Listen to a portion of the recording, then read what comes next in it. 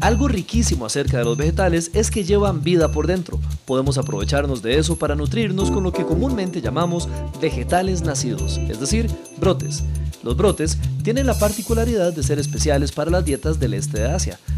Son ricos en energía, vitaminas, minerales, aminoácidos, proteínas y fitoquímicos, todos nutrientes esenciales para la salud humana.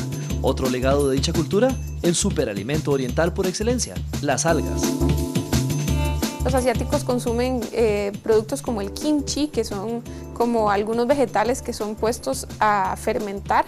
Esto hace que algunas de las propiedades del alimento florezcan y sean como más accesibles para nuestro cuerpo y también el uso de algas y hongos. El shiitake, el bishi, está también el uso de las algas como la clorela, la espirulina, etc. Estos son parte de la dieta, de diferentes dietas, tanto de los asiáticos como en algunas dietas como más más del mar.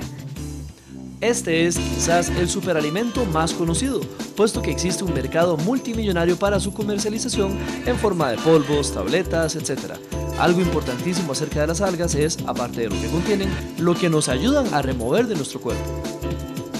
Estas algas tienen propiedades espectaculares a la hora de ayudarnos a eliminar del cuerpo todas las sustancias tóxicas que tenemos.